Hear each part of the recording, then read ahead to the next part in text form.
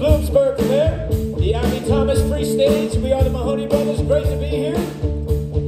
No rain predicted for today, so thank you so much for coming out early. We're kicking things off with the great sounds